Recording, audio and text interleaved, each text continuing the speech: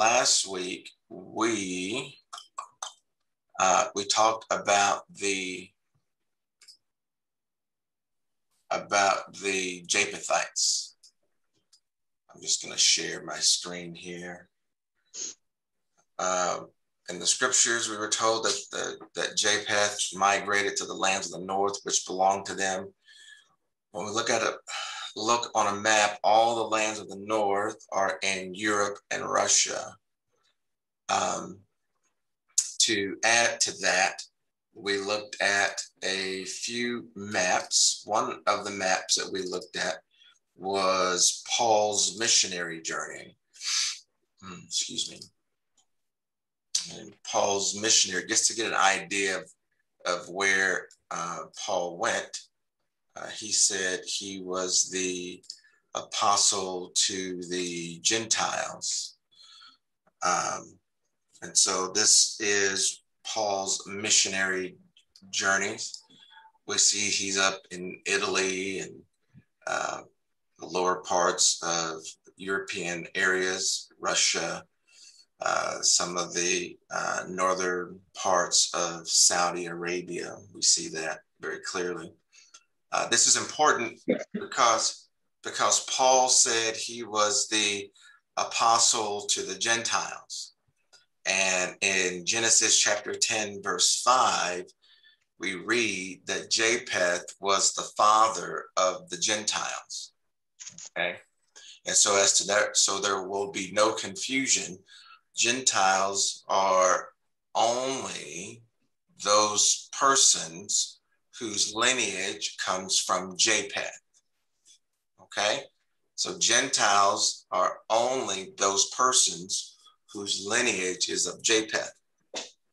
Did you say Genesis chapter 10, verse 5? Yes, ma'am. Oh, okay. Yes, ma'am. Not, not every Bible version will use the word Gentiles there. Some of them will say maritime, which means they were sea dwelling people, or um, some will say nations, um, uh, and some will say Gentiles.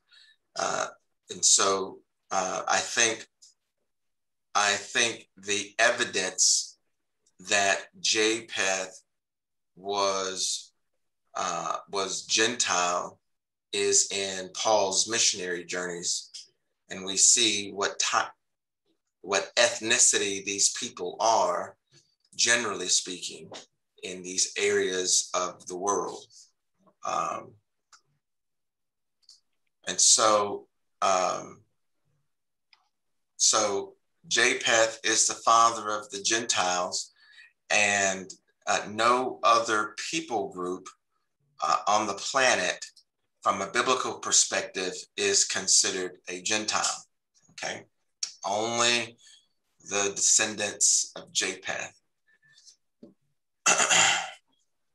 we learned that Japheth had uh, several descendants, uh, Gomer and Magog, who in turn had some children called Ashkenaz, Riphath, Togarmah, uh, Elisha, Tarshish, Kittim, Dodanim, and others. And it says again that by these were the isles of the Gentiles divided in their land, everyone after his tongue, after their families and their nations. One of the things that we uh, remarked on is um, uh, let me get down here. One of the things that we remarked on was uh, Arthur Koestler's 13th tribe. Arthur Koestler is a European Jew who tried to trace his lineage by blood and was unsuccessful. He uh, demonstrated that their lineage comes from Togarmah, and we know that Togarmah was uh, the father of uh, the uh, Ashkenaz. Okay. Ashkenaz is the um, the association that's made with European Jews. The persons who inhabit Israel today are called Ashkenazi Jews. And by their own terminology, they're pointing to their heritage, they're pointing to where they came from. And they did not come from the line of Shem, they actually came from the line of Japheth. Okay. Um, we also read that the uh, Jews are descendants of the Khazarian people who occupied the Caucasus Mountains between the Black and Caspian Seas. Give me just a second.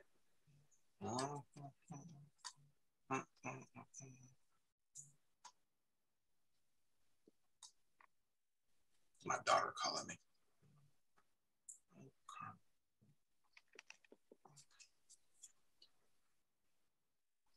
Bear with me just a second, guys.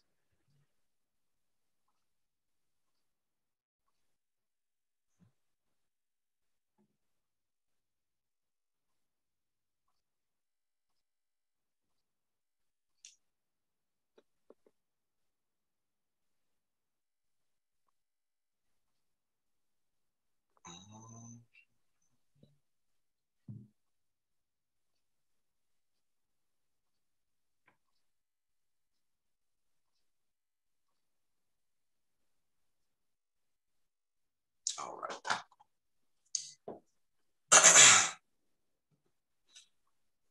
You guys tracking with me so far? So, uh, so the Ashkenazim people who inhabit Jerusalem are not Semites. So, any rhetoric towards them uh, cannot be considered anti Semitic because they are not Shemitic people. One of the things that we read was Genesis 9:27, may God enlarge Japheth and let him dwell in the tents of Shem. That's in Genesis 9:27. So what we see today is Japheth dwelling in the tent or home place or dwelling place of Shem.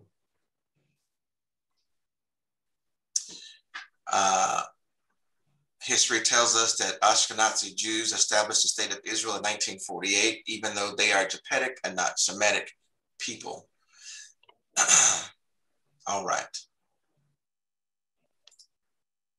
So tonight we're just going to continue a bit of conversation that we started last week about Shem it's going to bleed over into some um,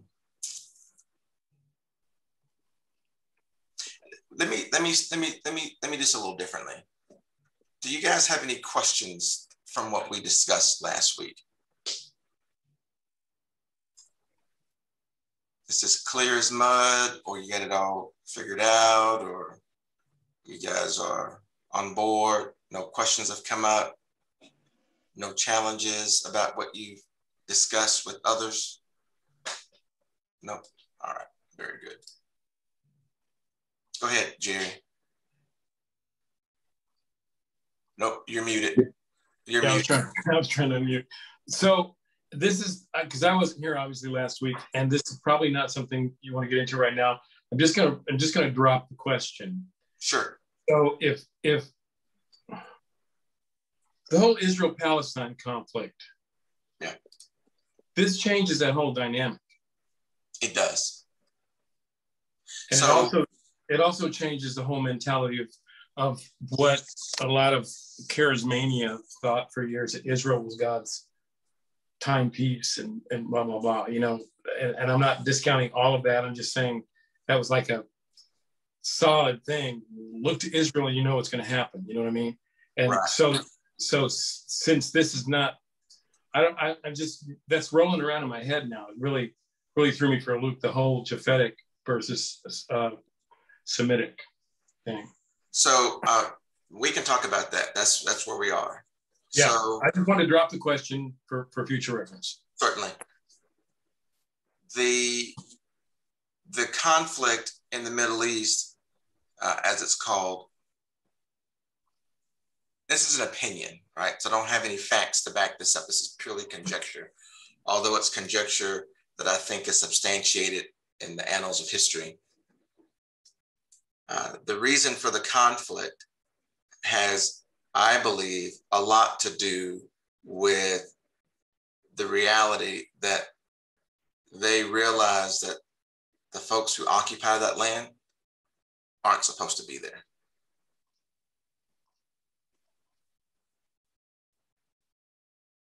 They, there was an Egyptian, an Egyptian uh, president or whatever the modern vernacular they're called now, back in the back in the 40s, 50s, who made the comment that the Jew left black and returned white.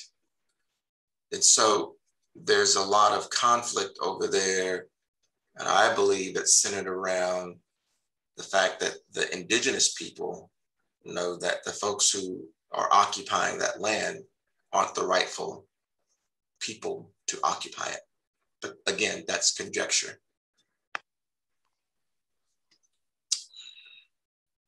All right.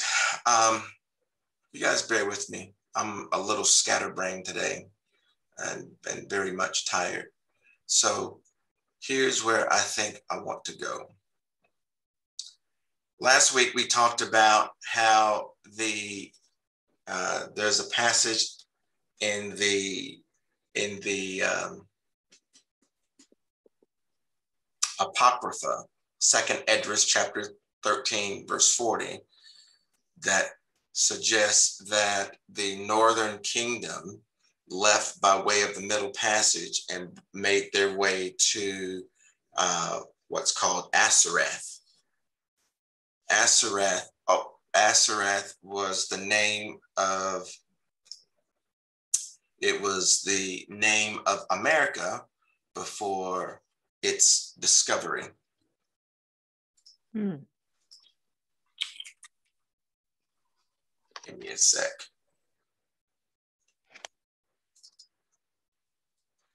I put discovery in quotes um, because, um, and we'll talk about that a little later tonight, uh, what discovery actually means.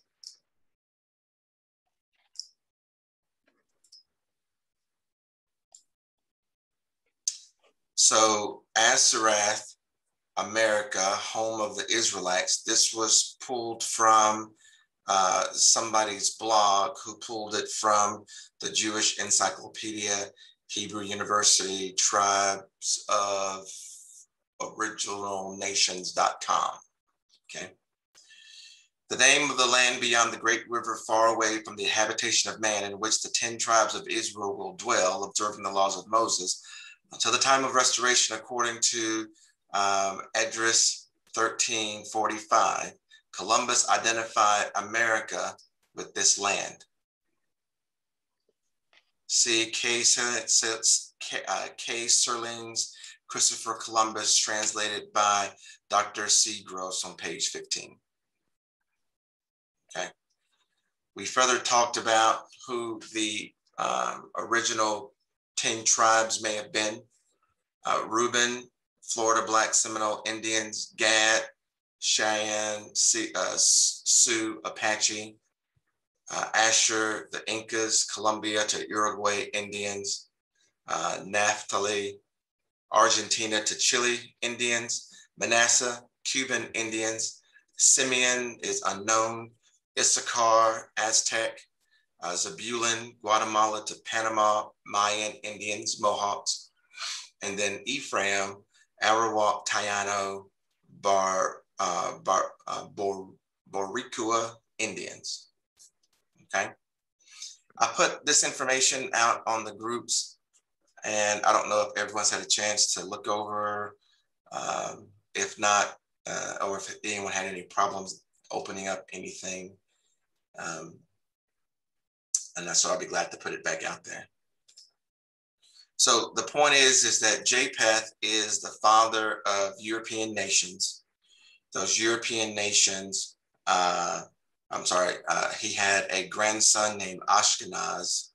Ashkenaz was the father of the Khazarians, and the Khazarians are who the modern day Jew has uh, derives from. So they are Jews by way of conversion and not by way of blood. Okay. Uh, we read parts of another uh, study called, uh, just a sec, I'll get back to it.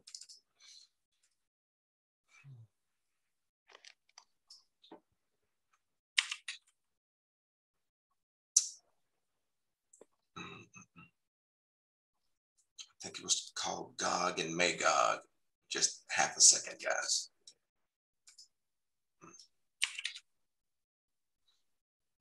Here we go.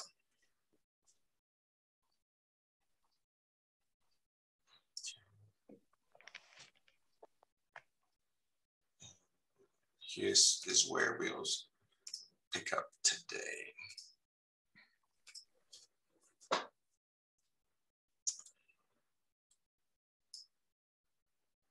I'm not going to read the entire document, but I am going to read some of the highlighted portions that you see on the screen. I mentioned that the Khazarians, the Ashkenaz, the Ashkenazim Jews, are Jews by way of conversion and not by blood.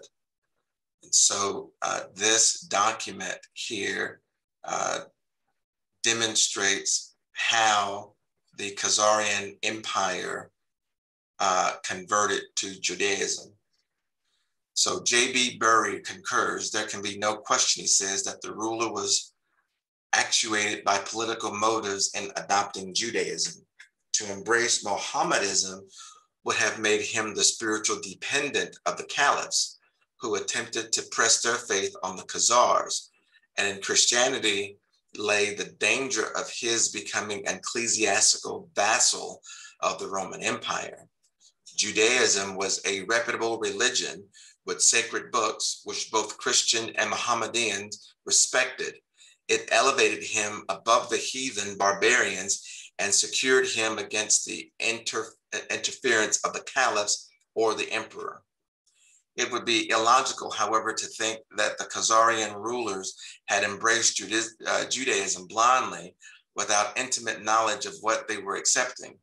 They had encountered the faith numerous times throughout the preceding century from traders and refugees fleeing persecution at the hands of the Romans, and to a lesser degree, Jewish flight from the Arab conquest of Asia Minor. Benjamin Freedman expresses differently the science behind the process of choosing a national Khazarian religion. He claims they were much more informal and random and not nearly so intellectual in their approach it matters little what the mechanics were of the conversion of the Khazar kingdoms to Judaism. It matters only that it happened, and that it happened with a clanging historical ring that resounds to the present age. That makes sense. Y'all understanding that? The Khazarians, the Khazarians were in a political pickle, if you will. They needed to choose a religious side they could not choose the caliphs because they would have been subservient to them. And they certainly could not choose uh, Christianity because it would have been subservient to them. But both Christianity and the Mohammedans the, uh, uh, respected Judaism. And so they chose that one, which elevated them immediately uh, to a position that was higher than the two, uh, than the other two. According to an ancient document entitled King Joseph's Reply to Hasdai ibn Shaprut, Joseph, a latter Khazarian king, stated that from that time on, the Almighty God helped him, that is King Bulan, and strengthened him. He had his slaves circumcised themselves, and he sent for and brought wise men of Israel who, who interpreted the Torah for him and arrange the precepts in order. Okay, so uh, the king, the then king of Khazar, uh, talked with other Jews to make sure he had all of the religious rites down, to include circumcision, uh, which he did uh, cause everyone that was under his authority to receive, every male to receive. Uh, um, Lewis, what are precepts? A precept is a is a law or rule that was given in the past. So um, one of the rules of the I can't remember the kingdom. I think it was uh, the Persians or the Medes. It, when the king said something, uh, that was law and it was binding forever, regardless of if it was right or wrong. uh, okay.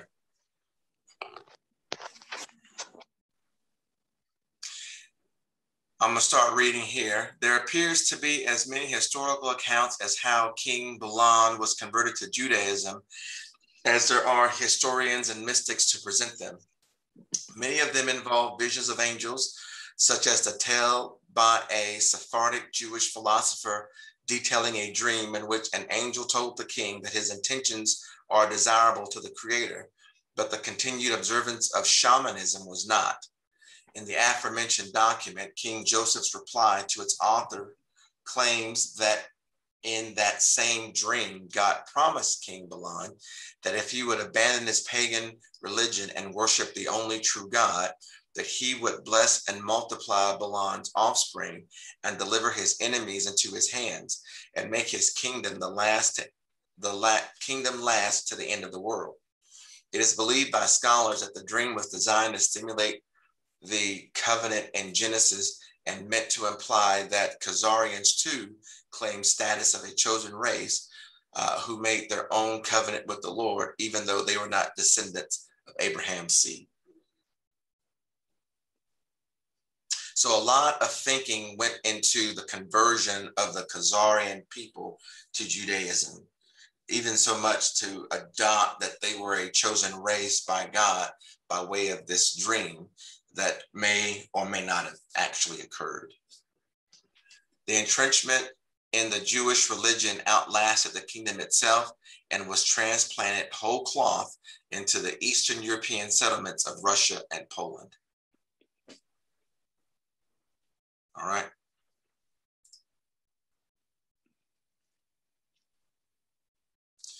The term diaspora simply means the scattering. Uh, this more recent, I'm reading here in this paragraph that's highlighted.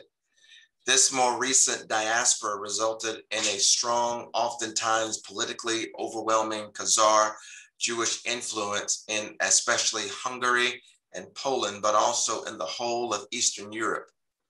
Jews were found in positions of power and political influence in virtually every major category of life, business, and society.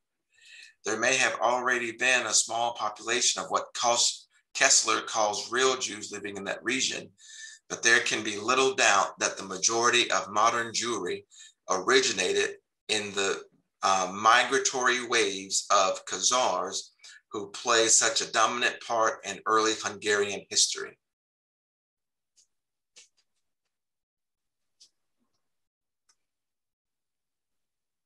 Western European Jews historically disp- displayed such a talent and acumen at trading and as usurers, that is, moneylenders, that in virtually any society and culture in which they found themselves, they became the possessors of and controlling influence over large portions of that nation's wealth.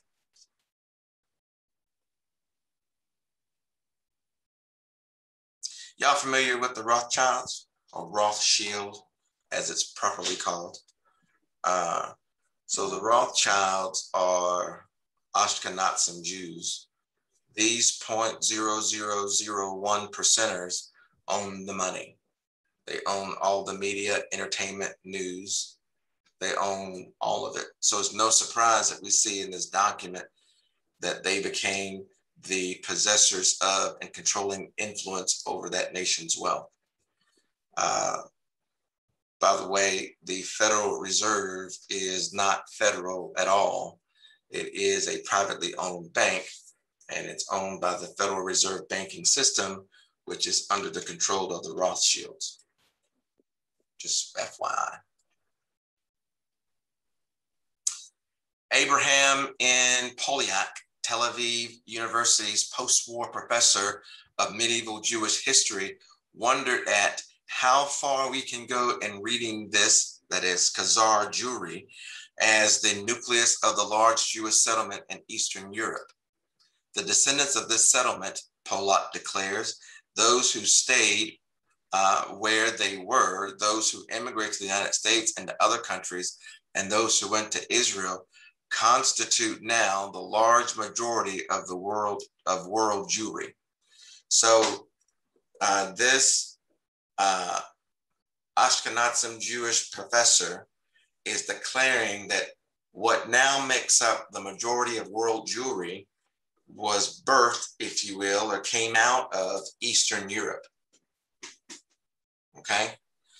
Now I mention this because uh, in the in the weeks to come, we're going to be transitioning into Shem and talking about the identity of Shemites, and then subsequently the children of Israel, and uh, and then uh, how that applies to to us, people of color, in uh, in the Americas. Okay. so right now, the large majority of world Jewry came out of Eastern Europe, and those are the ones who exist in the Jewish settlements and other places around the world.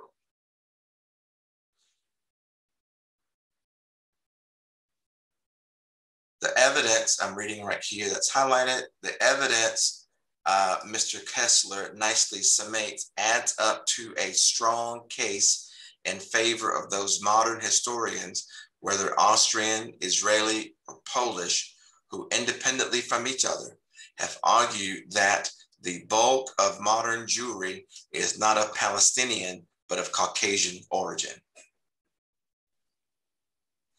Uh, you guys familiar with Henry Ford? Henry Ford uh, developed the Ford automobile.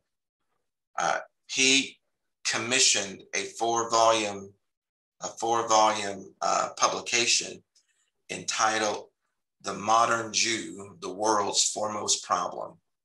And in that publication, he takes writings from Koestler and from some others uh, to, to document that the modern Jew is not of Abraham's, uh, not of Abrahamic descent.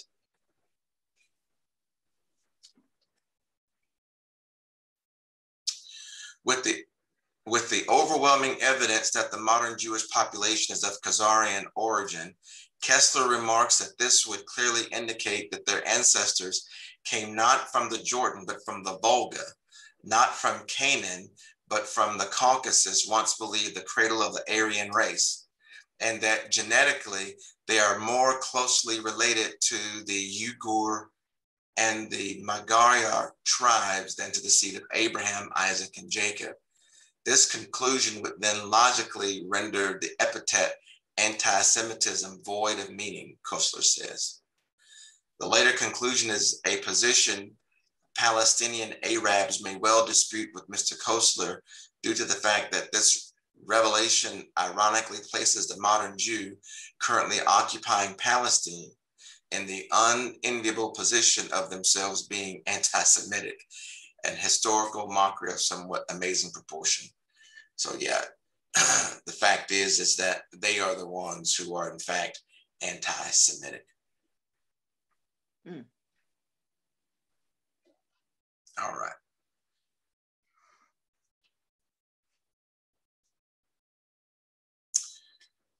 Later, some of the Sephardic Jews of Spain immigrated northward, accounting for some of the smaller Jewish populations in Western Europe. Because of the long and varied history of the Jews, says the 2001 edition of the World Book Encyclopedia, it is difficult to define a Jew. There is no such thing as a Jewish race. Jewish identity is a mixture of religious, historical, and ethnic factors. Thus, those who might have truly claimed to be the genealogy of Abraham and of true Semitic origin became extinct as a discernible race, being replaced by the white Khazars of the uh, Trans-Caucasus, uh, none of whose ancestors, as Benjamin Freedman phrases it, have ever placed a foot in the land of Palestine.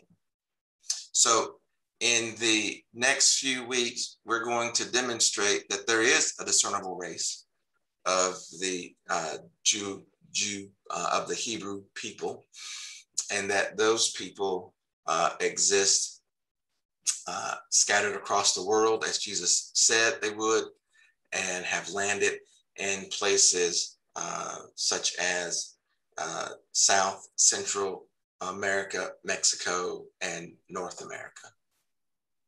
Okay, Lewis, I have a question just to make sure I understand. So you have the original Jew.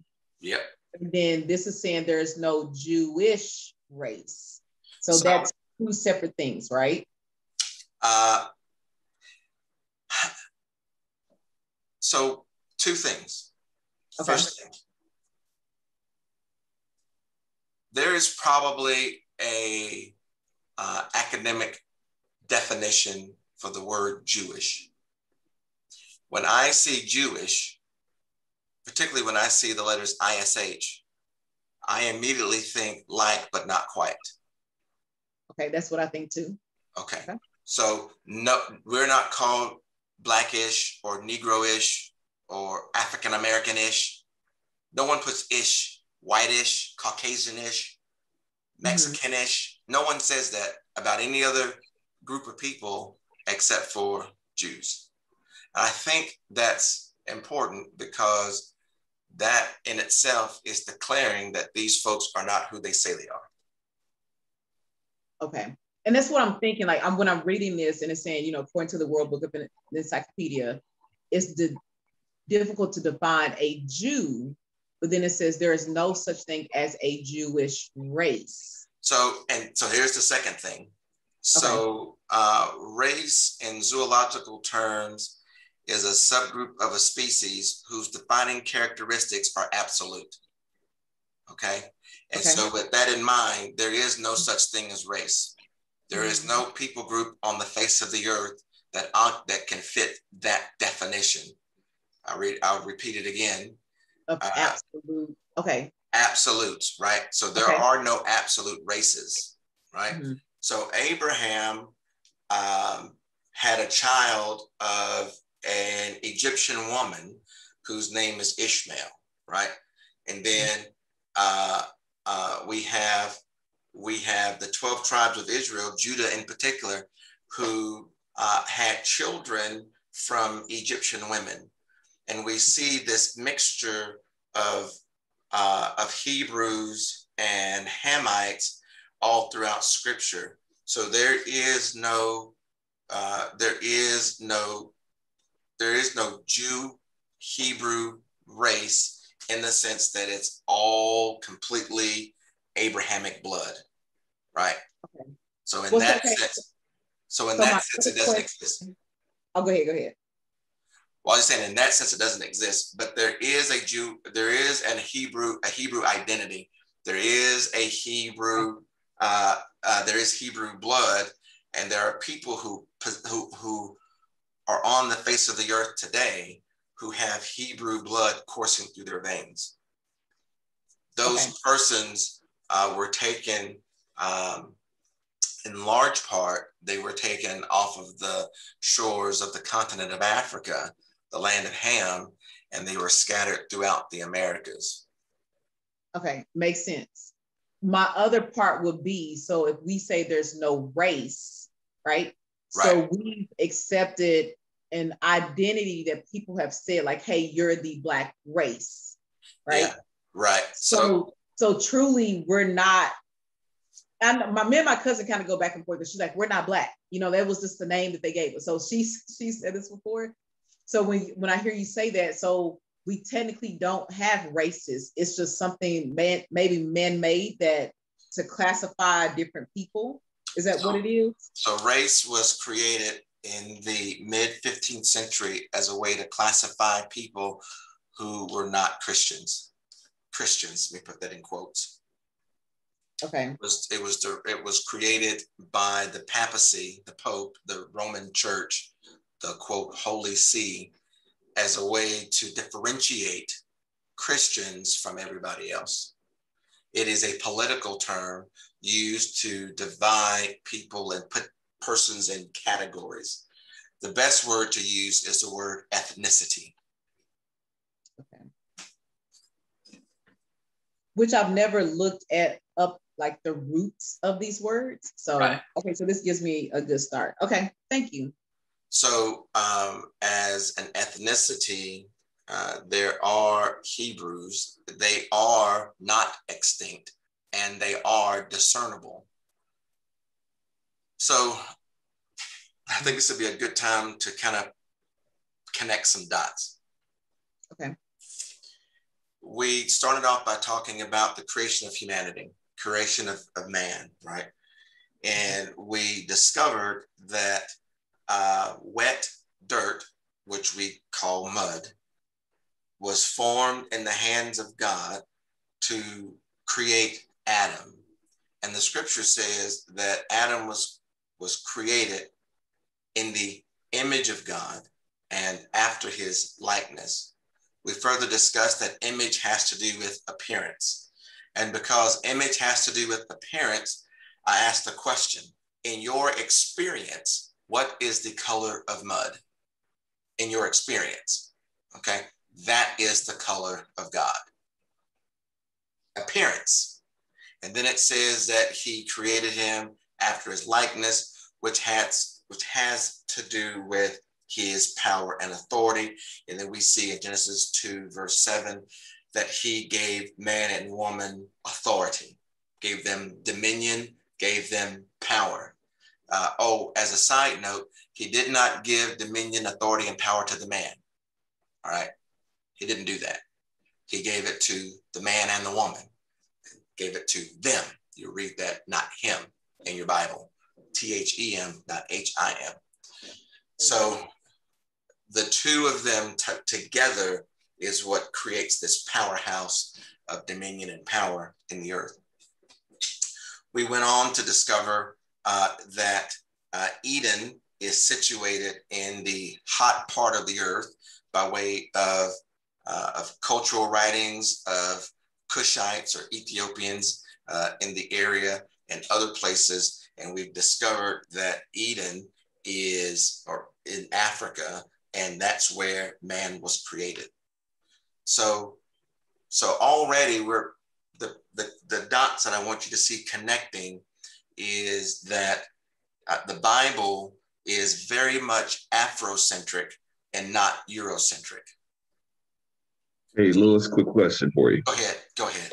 All right. So, um, I'm a question and statement. So, as we go through this, uh, as you unpackage the um, lecture series, you know, we're kind of supposed we're we're doing two things at once. We're kind of wrapping our brains around the content, and and we should be kind of listening in a way that to help shape it. And I guess maybe that's a conversation for um, you know at the conclusion. You know, how can we shape it um, as we pr- prepare to present it to the world, type of thing. Um, but one of the things that we want to try to do is, as as with what you did with um, um, another fact that you weren't able to prove oh, yeah. uh, do- dogmatically to say, hey, this is what this is. Just kind of steer away from it. Um, it sounds as if I hear you say that, and I'm, I'm I'm wondering if you're saying Yeshua as far as Jesus, the Christ, or if you're saying God, um, this is the color of God in his image. Now, because, and I've heard it a couple of weeks in a row, um, it is more widely accepted. We know scripture says God is a spirit, and that it talks about image of God. Um, it's because being God being a spirit God does not have uh, there, there are some theological terms, uh, theophany or anthropomorphic manifestations, or theophany, the hands of God, the feet of God, the mouth of God, things of that nature. Sure. We know that when, when the Bible speaks to us in those terms, the hands of God, the feet of God, the mouth of God, that it is symbolism that we as human beings understand. Okay. So I think um, I don't know that we want to say that God was black. It sounds like that's what we're that that's what we're saying. I don't I don't know I don't know that we want to say that God was black. Um I you know, I think all the dots connect to the first man being black. But I think in the image of God, it has more to do with um, our ability to um, think, our ability to uh, to create, our ability to. So when you look at the image of God, it's more widely accepted in in that sphere as opposed to a black God creating the universe. And I don't I don't know that there's enough for us to that we even want to venture into those waters. That's that's my my thoughts on that. I don't right. teach. I don't teach. I don't teach that. Right. And I think it's a safe space. I think we have enough um, ammunition without venturing into those waters. Um, if you were to say Yeshua, the manifestation of, of, of the, the Son of God here on earth, I'm with you 110%. Uh, but to assign a color to God, I'm, I, I don't think that's that's what we want to do. So two things. Does that make sense? It does. So two things. First thing, uh, thank you for making that differentiation because the scripture makes it very clear that it was the second person of the Trinity who did all the creation, right? So, uh, so it was in fact the Messiah who did who did all the creative work uh, that is found in Philippians uh, chapter, I think it's chapter one, verse sixteen. By him, all uh, he created all things. By him, all things consist. Uh, Philippians 1.16. And so, yes, you are correct. And also, the scripture makes it very clear that that the Father is is invisible uh, in as much as uh, that seeing Him is the same as seeing the wind. So, so though, so so yes, I understand what you're saying, and I will be careful uh, in the future uh, or careful going forward. Um, that said, I, image image has a definition, and and image is not subject to our interpretation. So image means appearance, and re- regardless of how that might make us feel um, about accepted theology, image has a definition and it means something or it means nothing. And so he says he was man was created in in the image of God. I am okay with the reality that that word God there is talking about the Godhead, the total sum total of God, and the person and the person of the Messiah. Um, so um, while I want to be careful not to apply any conjecture, as you have uh, rightly mentioned. I also don't want to to lose something along the way or misunderstand something along the way that could provide insight. But you're right, we have enough data that we don't need to go go there to begin with. So um, the the people that God made. And uh, so this is where I was going. the first, I mentioned that the Bible is Afrocentric and not Eurocentric. The first world leader was Black. So the scripture says uh, that Nimrod uh, was, uh, the whole world was under one language, and Nimrod had the entire world together. Uh, and they built a tower. So Nimrod is the grandson of Ham. Ham is the progenitor of the black races, according to Zondervan Dictionary, not the Negroes. Ham is the progenitor of the black races, of the dark races, excuse me, not black. It doesn't use the word black, it uses the word dark. Ham is a progenitor of the dark races, not the Negro. Okay. Uh, and so uh, Ham had a son named Cush, and Cush had a son named Nimrod, and Nimrod was a world leader. It was, and and until then, the whole world spoke one language, and he had the whole world together to build a tower. So where I'm going with all of this is that it's only been in the last 2,000 years that there has been a flipping, a switching of what and who Hebrews look like and what and who the first man and woman look like. Now we're not we're not confused about the fact that it's been switched uh, because uh, when we look when we remember the Ten Commandments and Charlton Heston, who played Moses, he was uh, he was he did not he was blue eyed, mm. right? He had blonde hair. okay. Right. And then you see the persons who are playing Egyptians, had Yul Brynner, right? Who I don't know if his eyes were blue. I think they were. Um, but in both of them, their complexion was uh, was not the complexion of people indigenous to a land that is remarkably hot.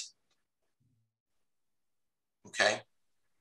And so society has trained our minds, has conditioned our minds to whenever we think Egyptian, for some reason, we're supposed to immediately think of people like Jerry, who I love, think of people like Jerry instead of people like you and I.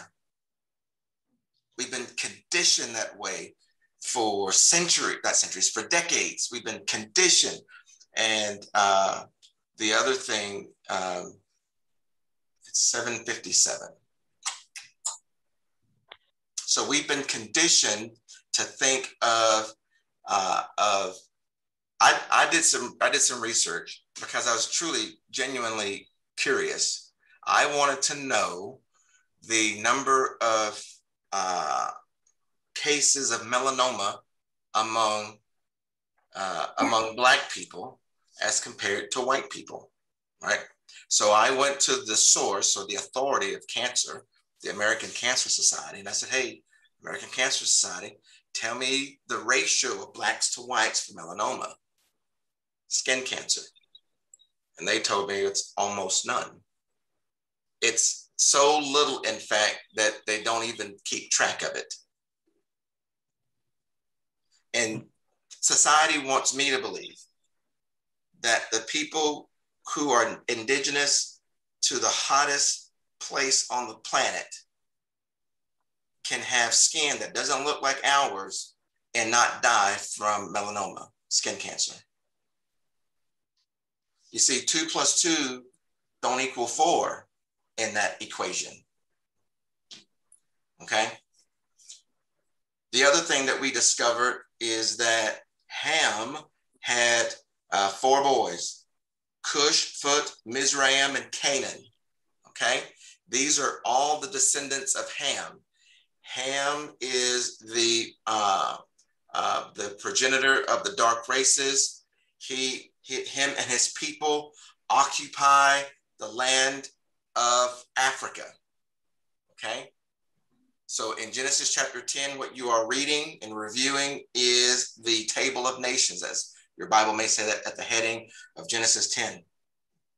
The nation of Ham, the nation of Ham um, is Africa, modern day vernacular. And Ham's youngest boy, one of Ham's boys, I don't know if he was oldest or youngest, but one of Ham's boys was named Canaan.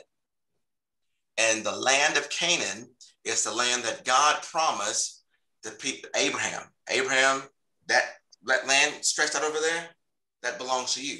That's the land of Canaan. That's yours. Now, Canaan is in Africa. And I'll say again the land of Africa is some of the hottest parts of the planet, of the, of the earth. And it's just not biologically conceivable that people who do not have melanated complexion can survive there. They cannot survive there. They cannot survive there. And so God would be would be a terrible God if he said, Hey, listen, you guys go and occupy, you white folks, go over there and occupy the land of Canaan. Yeah, yeah, the sun's gonna burn you up. Yep, yep, you're gonna die of cancer. Yep, yep, but go get it. That's yours. So God, God, God didn't do that. He put people in that land who had a complexion that could be able to endure the climate that um, that that that that specific climate. Not all people groups of the earth can endure that climate. We got people groups in Texas who can't endure this climate. Getting skin cancer every year. Every year getting skin cancer. Every year. So why would we think that people who don't have a specific complexion can endure in the land of Africa? Why would God put people who are not bodily constituted to live in the land of Africa in the land of Africa? Well, the answer is real simple. He wouldn't do that. He wouldn't do that. it's 801. Next week, we're going to start talking about Shem. So I've made the comment a few times, and um, I'm not sure if it was picked up, but Zondervan Bible Dictionary, what a very well respected Bible publication distribution company, Zondervan, uh, has said in their dictionary uh, that uh, that Ham is the progenitor of the dark races, not the Negro. And I scratched my head the first time I read that. I said, that's how they who, huh? Yeah, you say Ham is the progenitor of the dark races, uh, not the Negro. I'll just show this to you. Hold on. Love, love, love, love.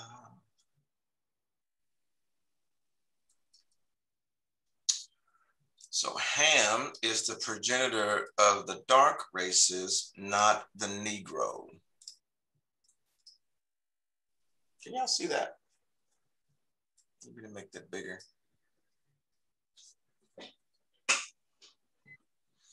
Not the Negroes, but the Egyptians, Ethiopians, Libyans, and Canaanites.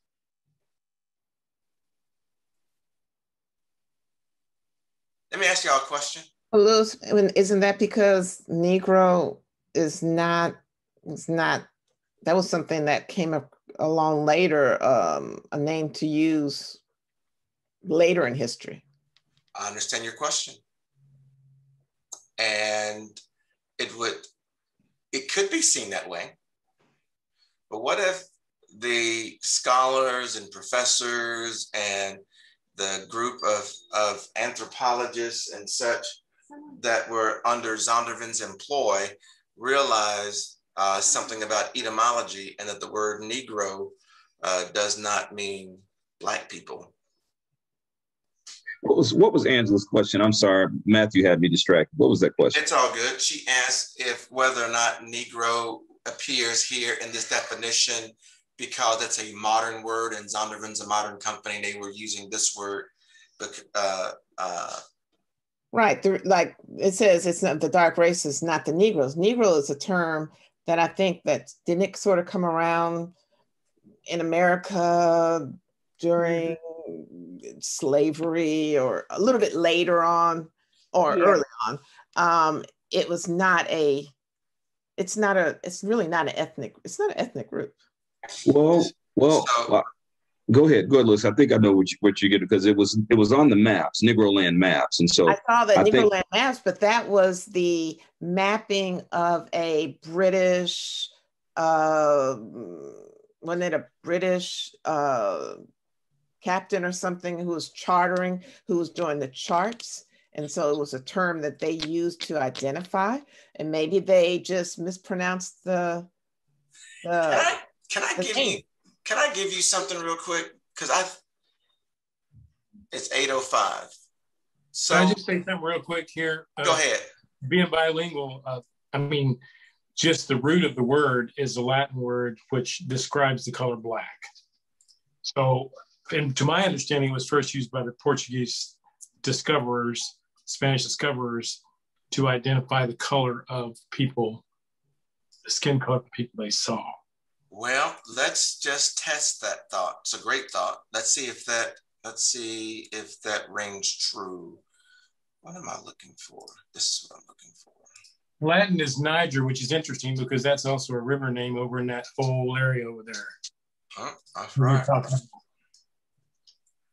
Okay, in a um, publication written in the uh, in the 1600s, I'm I'm gonna read the highlighted portion of this uh, here on the right side. Hmm. Gonzalez was the first Portuguese who in 1492 returned with Negro slaves purchased instead of the Africans. Hmm. Y'all see that? Wow. Mm-hmm. Yes. He preferred Negroes over Africans. Hmm. So where'd he get them from? They got them from Africa. Hmm. Sure enough did. Mm. And that, that, concludes tonight's session as we prepare for next that's, week's session. That's 1442, by the way, uh, Lewis. Yeah, it was 1442 on that thing. It was 1440. It was 1442. Um, this is an account of what happened in 1442. The publication wasn't written in 1442. No, that's not. You said 1492. That was Columbus. You, you just got you misread the number. That's all right. Oh, oh, oh, oh thank you. Thank you, thank you, thank you, thank you, thank you, thank you. I said 1492. Boy, mm-hmm. That's messed up. But that, but the type was small, and you're getting old, so it's good. so that so that so that publication said that he went to Africa and he returned with Negroes instead of Africans. So they could have been from Negro land, like we saw on the map. Mm. How they pronounced Hebrew, they were Hebrews. Mm. They were Hebrews. So Negro, Negro is a uh, came out of the word Hebrew. Negro, Hebo, uh-huh. uh, uh, Negro, Hebo, Igbo, I'm sorry, Hebo, Negro, Igbo, Hebo, Negro. Negro comes out of the word Hebrew. Okay. Hey, let, let, me, let me read this quick paragraph. This goes back to, uh, and tell me if you disagree with this, uh, y'all um, it says it says why are we called Jews? This is written by the this is written by the Jews, um, uh, World Union for Progressive Judaism. We were once called Hebrews during the time of Abraham, Sarah, Isaac, and Rebekah. After Jacob got his name changed to Israel and moved to Egypt, there were the people were called Israelites. This continued for the entire biblical period until Rome ruled over an area called Judea when we were called Judeans. There were a few instances of the word Yehudim, Jews, in the book of Esther, but not enough to make historical reality. Um, and so and so they're trying to explain this Jewish idiom yeah, this Jewish name. Yeah. Interesting. That's good stuff. That's good stuff. So my understanding is that Jew is short for Judah. They were the only ones that were left because remember the northern tribe was taken to captivity into Assyria. The, the southern tribe, Judah and Benjamin, were taken to captivity into Babylon. But that kingdom of Babylon or that uh, sorry the the the southern kingdom was able to uh, continue because of the uh, turnover of leadership in that area of the world. So Babylon yielded to the Persia Medes, to, to the Medes, who yielded to the Greeks, who yielded to the Romans, right? And so Jew is just a short form of Judah or Jew, Jew Judeans. Uh, Judeans, Judeans. So wouldn't it make wouldn't it make more sense, Lewis, if they were okay? So you got Northern Kingdom, you got Southern Kingdom. Wouldn't it make more sense? You know, they're really trying to hold on to the Southern Kingdom, and that's the reason Southern Kingdom of Judah. Yes. But wouldn't it make more sense? Because it seems like in recent times, there are some scholars that are more open to the idea of the Northern Kingdom, uh, the Middle Passage, and um, Native Americans, so on so so so on so forth. You know, why are they determined? Maybe you can explain it for the group in in sixty seconds or less. Why are they determined to hold on to the Southern Kingdom? Why was why were the people of God? Why are the Jewish people the the the Jew, um, um, Israel as we know it today, why are they so determined to hold on to the identity that to identify themselves more so with the southern kingdom of Judah than any of the other than the northern kingdom of Israel? Because Judah is where the Lord sprang from. Jesus is the lion of the tribe of Judah. That's what they want to identify with. That's what they want. And if they have, if they give up that real estate, yeah, all bets are off. All bets are off. Yeah. Wow. That's why. All right, y'all. It's 11 after the hour. Any other questions? Kalandra, you've been awful quiet. And I'm not picking on you. You just quiet. Oh, my mind is just. Yeah. That's a lot of information. Yeah. Well, tell me what you're thinking. Information. Um, I think Tanika asked something uh, um, kind of like this last week, and I'm not going to say that I'm going to be devil's advocate. I'm not going to be devil's be angel's advocate. Uh, okay. um, but if we going to, if we're going to, you know, teach this to the masses, I just have to think. I'm kind of like thinking how some people may be thinking. Um, and so my question is, why does it matter? Oh, that's a great Hold on. Question. Let me finish. Let me finish. Okay. Why does it matter? Because why does all this matter? Why does it matter where we came from? Why does it matter? Why does it matter? And on that great day, when Jesus returns, it doesn't matter what color you are. It's not going to matter what color you are we can't go back and change the past, right? We can't go back and change what has happened to people of color or brown people or black people. We can't change that. So, my question is what does it matter? Uh, and I know, I, I kind of know, but I want to, you know, we're going to teach this to the masses. People are going to ask this. Why does that matter? You know, when God comes back, we're all going to be one big family, right? so, break that down for me. And I think Tanika asked this a little bit last week, but I just want a little bit more detail. Hey, hey, Lewis, can can I answer from Limitless Church and you answer from kind of a global thing? Sure. Can I do that? All right, all right. So, because Tanika did ask the question as far as the church, how you know how how would we posture ourselves, and, you know, and here's the deal. It matters and and this isn't something. This wasn't a knee jerk reaction type thing, y'all. This was um, much prayer, much deliberation, and many conversations. I mean, I dare to say hundreds, if not thousands, of conversations between Lewis and I over a period of time. Right. And it matters. I asked myself that same question, uh, Calandria. Why does it matter? Then I said to myself, self, if it didn't matter, they wouldn't have changed it. Number one.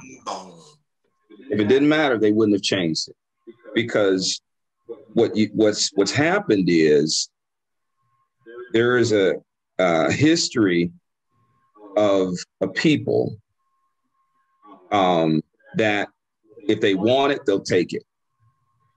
If they want an identity, they'll take it. If they want a land that is ripe with resources and oil and diamond, they'll take it and and if they want the promise i mean we we love this bible story but that's not us but we we want that to be us, and and we can't allow the people that we're trying to oppress to identify with this. When they read this promise, they need to see us, or else they're not going to stay subservient to us. They're not going to stay subservient. It's going to be hard for them to to submit. to follow us and to submit to us if they see themselves um, as they really are.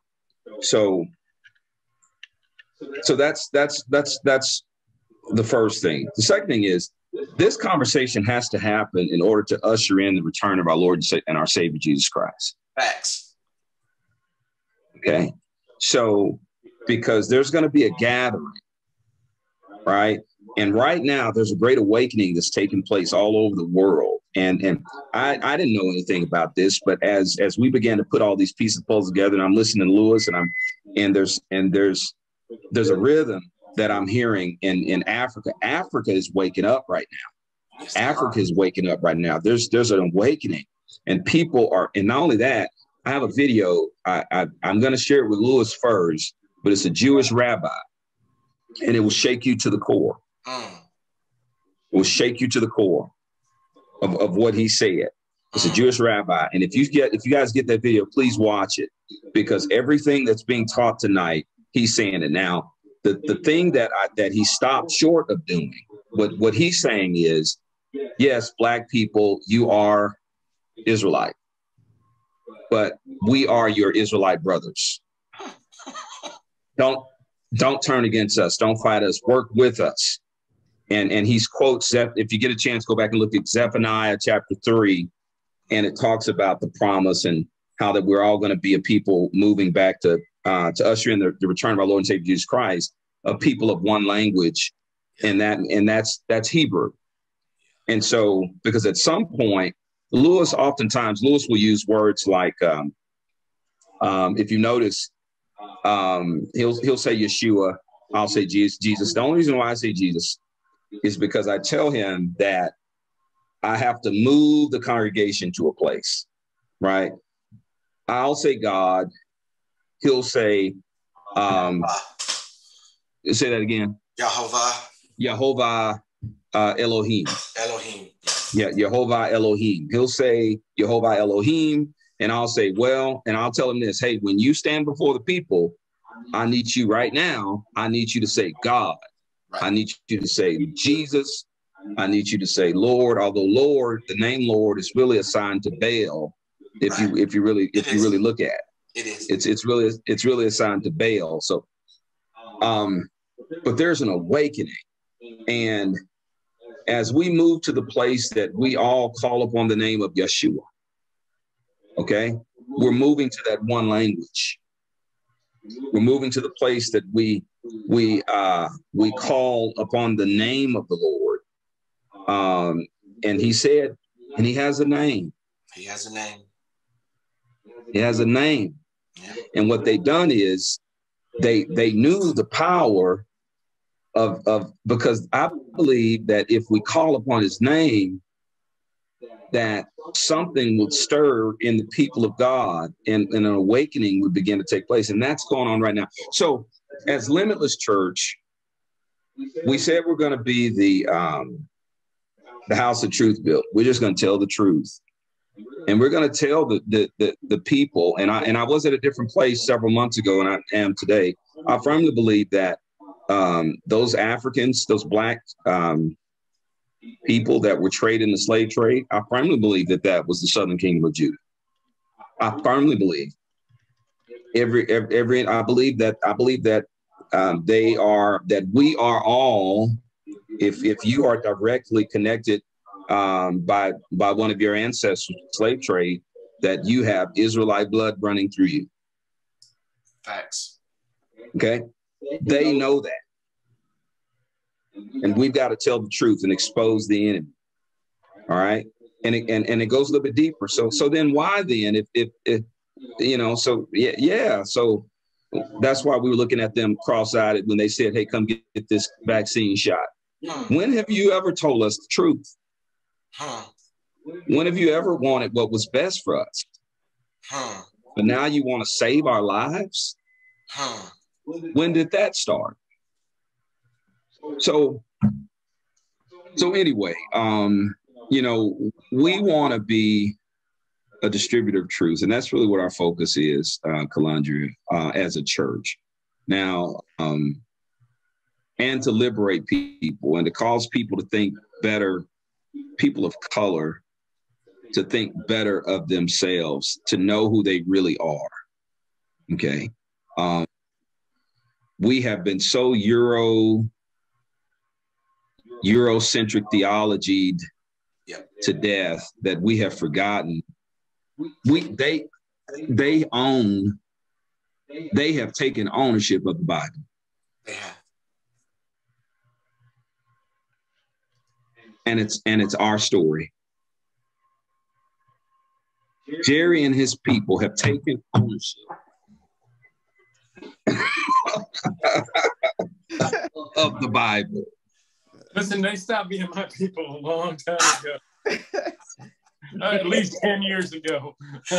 Most of them don't speak to me anymore. Some are in my own family. So they so they just they disown you. So Lewis, did you want to add to that before you conclude?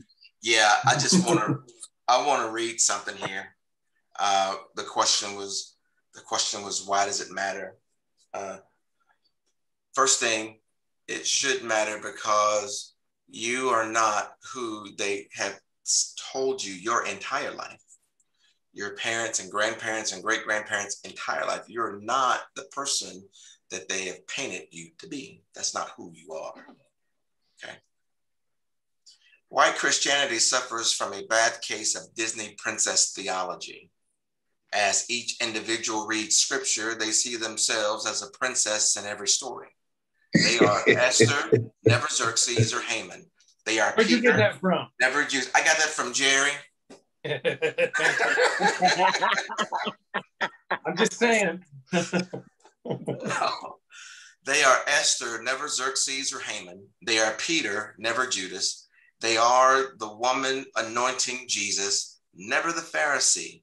They are the Jews escaping slavery, never Egypt. For citizens of the most powerful country in the world who enslaved both native and black people to see itself as Israel and not Egypt when studying the scripture is a perfect example of Disney princess theology. And it means that as people in power, they have no lens for locating themselves rightly in scripture or society, and it has made them blind and utterly ill equipped to engage issues of power and injustice. It is some very weak Bible work by Erna Kim Hackett. Yeah.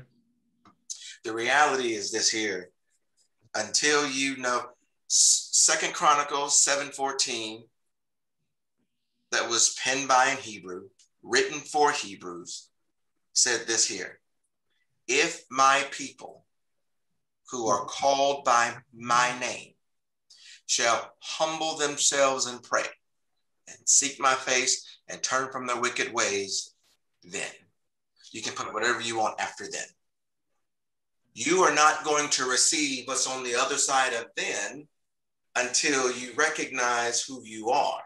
He said, if my people, he said, if my people who are called by my name humble themselves and pray. And yes, while there is application that can be made to the church and the world today, it was not written for the church, it was written for the Hebrew of God.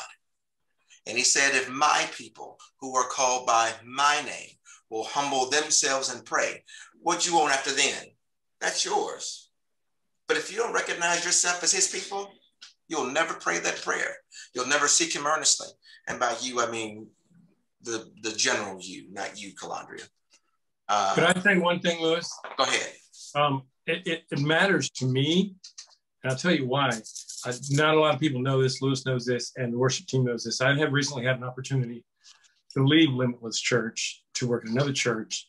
just the last week, actually, um, for a substantial increase in monetary income. And I've mulled it over because um, I lost some income in the last month that I'd had it for a year and I lost a contract. And so I mulled it over. But I woke up, I don't remember what day it was, but I told Lewis I woke up and my peace meter, y'all pardon my French here, but my peace meter was like, hell no. I just, it was no. I know there was a no and a no and a no.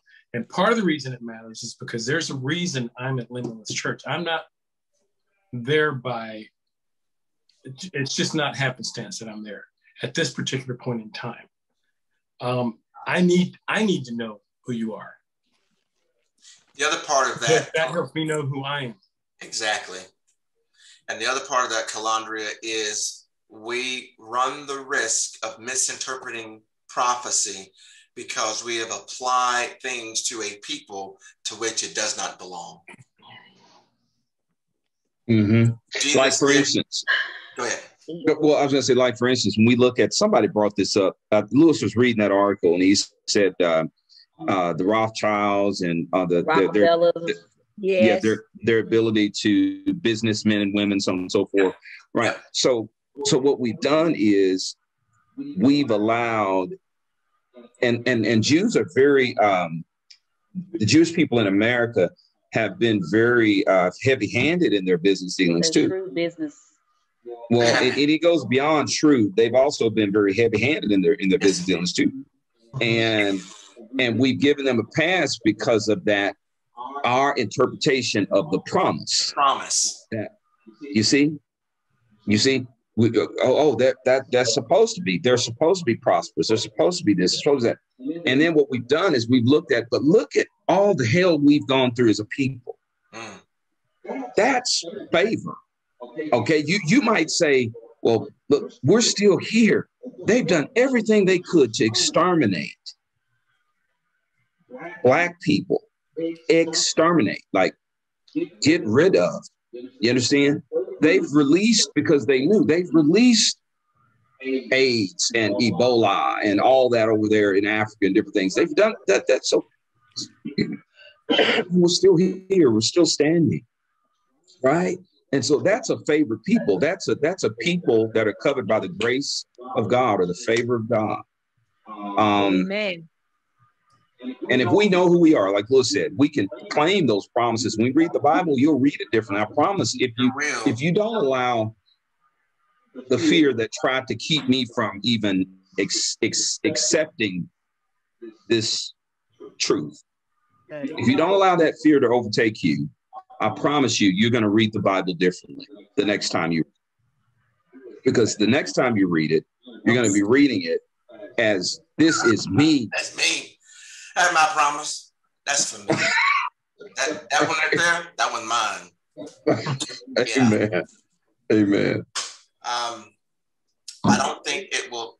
It's not necessarily part of this of, of the sessions, not necessarily. Um, but uh, Pastor, you mentioned they've done their dead level best to eradicate Black people, and we're still here. Um, but there was an eradication that did occur, and it was very, very successful. Okay. Um, I've heard both sides that the Willie Lynch letters are uh, are both fiction and truth, but the, rea- the the the the truths that are spoken in these letters um, lead me to believe that this is more fact than fiction. I, I want to read just a small portion of this. Doesn't have any any language in it. This portion here, anyway. William Lynch, The Untold Story, 1712. In my bag here, he says, hold on, let me see here. You just look at it yourself. Um, in my bag here, I have a foolproof method for controlling your black slaves. I guarantee every one of you that if it is installed correctly, it will control the slaves for at least 300 years. My, sim- my method is simple. Any member of your family or your overseer can use it. I have outlined a number of differences among the slaves, and I take these differences to make them bigger. I use fear, distrust, envy for control purposes. These methods have worked on my modest plantation in the West Indies and it will work throughout the South. Take the simple little list of differences and think about them. I won't show you any more computer studio on. I won't show you any more because from here it gets to be uh, computer studio on. But in this in this letter, he tells you how to break the minds of, of people. In this case, it's directed toward us, the minds of Black people. He, he declared that it will control the slaves for at least 300 years. And here we are on the opposite end of chains and whips, and we still have a slave mentality. Um, I don't mind sending this to whoever. It's I bought it off off the web. I freely give it to anyone who wants to read it. It's remarkable how, as he goes through his list of things to do to break the psychology of a man and a woman and a family, and you can see this that has happened among no other people group on earth.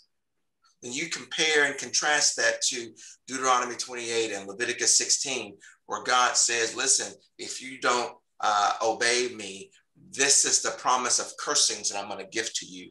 And you read what he says to do to break people, and you compare that to the pages of scripture, and you realize, hmm, God wasn't playing. No other people group on the planet, everybody wants to identify with all the promises of God. Well, on the opposite side of that promise is a curse. And no other people group on the planet, because Israel was continually uh, idolatrous. Israel was continuously wayward. Israel was continuously adulterous. Israel never obeyed God. I mean, as a people in whole, they never obeyed God. So then they, you should not see an Israel that's thriving in the world. You should see an Israel that is under the foot of somebody. You should see an Israel in the world who has had their minds and wills and psychology broken. You should see an Israel who is under authority and lives in fear for their very lives every time they leave their house. That's the Israel you should identify in the earth. And there's only one mm. people group that meets that criteria. This is why it matters. Mm. Mm. So, Calandria, do you? I mean, I mean, I appreciate your. I really do appreciate your feedback because this type of stuff we have to think through as we present this. You know, are you? Um, it. You know, why does it matter, right? And that's the same question I asked. Remember, I was like, yeah. I don't. Why? Why does yeah. it matter? But and, you know, part of the part of the asking of the question why, when you read the pages of this of this book, the reason why we even broach the, ask, well, why does that matter, or submit to or yield to the idea of why does it matter, it's because we have a broken psychology. We have a broken psychology. That's what I say. It goes back to you remember the Botham Jean, the, the guy that got killed in his apartment yep. eating ice cream. You remember yep. that? Y'all yep. want to know the y'all want to know one of the worst days of my life? You want to know one of the worst days of my life? What's that? Is, is when is when she was found guilty and her his brother said, "Can I give her a hug?" And and and and I'm a pastor and I love it. I, I promise you, I love I do love everybody. Can I give her a hug? It for me, that was a broken psychology moment because she would not have given him a hug. The this weekend, this past weekend was the 100th anniversary of the burning down of a place in Tulsa called Greenwood. 36,000 people uh, were displaced it was a community that had their own hospitals, banks, grocery stores, and schools. Airport. They were completely self-sufficient. And because of a misunderstanding, a lie, or whatever you want to call it, uh, a group of angry white people came through and burned down that section of the country. Not and only that, it. the federal, gov- the federal government oh, dropped the bomb on them. Put, put, yeah, yes. they did. Small planes came through it and dropped uh, and dropped ordnance on it. The federal government put roads through that community. Uh, there is an international airport on that very same community. But this weekend, they want the citizens and the survivors, three survivors of the of the event, they want those people to be satisfied with a marble monument with a flame on top. Come down, let's celebrate, and let's say kumbaya. Yeah. But not only did they do that there, they did it in Memphis and Florida, Maryland. I mean, it's I, almost they were saying that every time there were successful um, um, areas where they were thriving and so forth, they came in and they, they destroyed, destroyed, it. But you, Until, this is why this is. I'm not saying to harbor any hate, ill feelings, discontent. I'm not saying that at all. But as the saying goes, if you don't know history, you're doomed to repeat it. We need mm-hmm. to understand what happened, to whom it happened, right. and what God says the remedy for it happening in the future is. Well, and tell the tell the Jewish people today that their identity doesn't matter. That it, that, that everything about they believe that apart from who they are as Jews, that you know they can't separate that, right? It's it's so it does it matters, and I just think we gotta.